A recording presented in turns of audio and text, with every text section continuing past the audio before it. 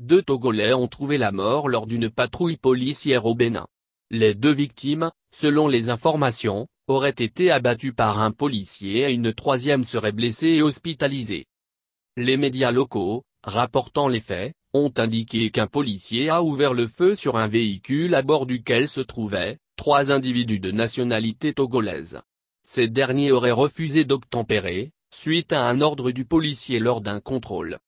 À en croire les témoignages, les individus à bord du véhicule auraient foncé droit sur le policier qui n'a eu d'autre choix que de dégainer.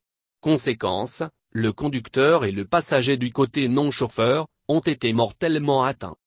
Le troisième, quant à lui, occupant la banquette arrière du véhicule, a été gravement blessé et hospitalisé.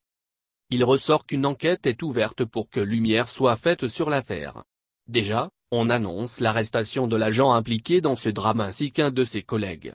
Une ordonnance faite par le directeur général de la police républicaine Soumaya Yaya,